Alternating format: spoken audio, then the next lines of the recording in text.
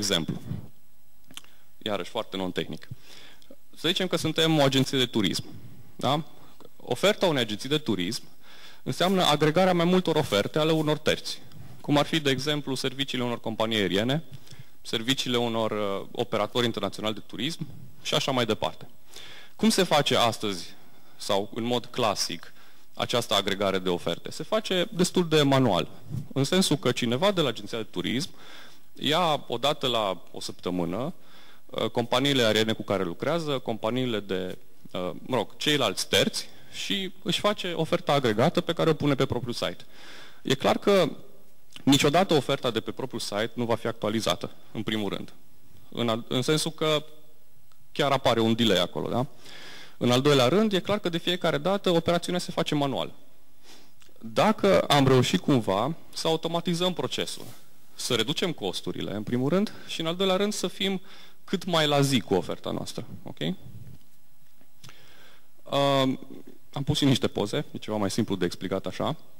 Uh, unde apar serviciile? Că despre asta vorbim. Avem o companie de transport aerian sau niște companii, parteneri de noștri, avem și alți terți, ok? Și noi ne înțelegem cu acești terți, da? să dezvolte aplicațiile lor sau să le expună da? să facă o mică adăugire acolo, ca să le expună prin niște servicii web.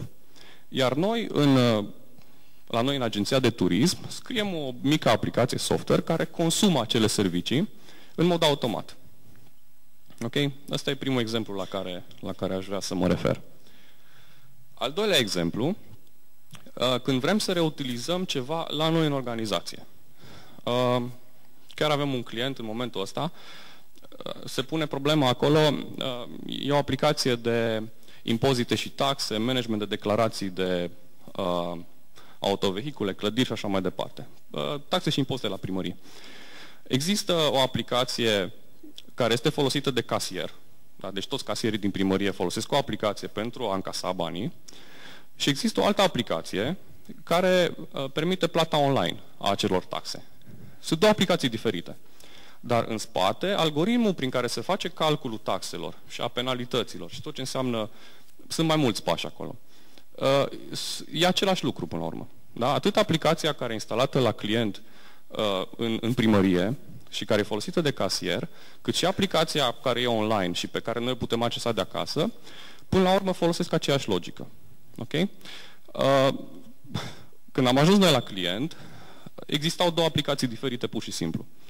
Vă dați seama că toate aceste reguli de calcul a impozitelor și taxelor, care se schimbă cel puțin o dată pe an, pentru că se schimbă și codul fiscal, se schimbă multe lucruri, trebuiau refăcute de două ori. Okay? Există foarte multe surse de erori acolo.